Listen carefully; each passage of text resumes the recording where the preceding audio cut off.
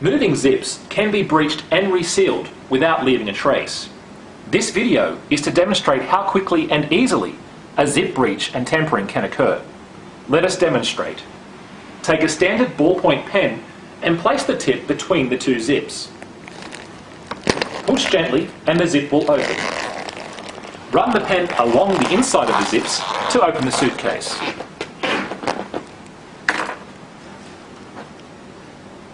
To close the suitcase, simply drag the zip pullers back over the open zip.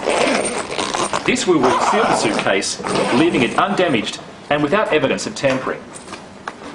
Please keep in mind that you are legally responsible for the content of your luggage.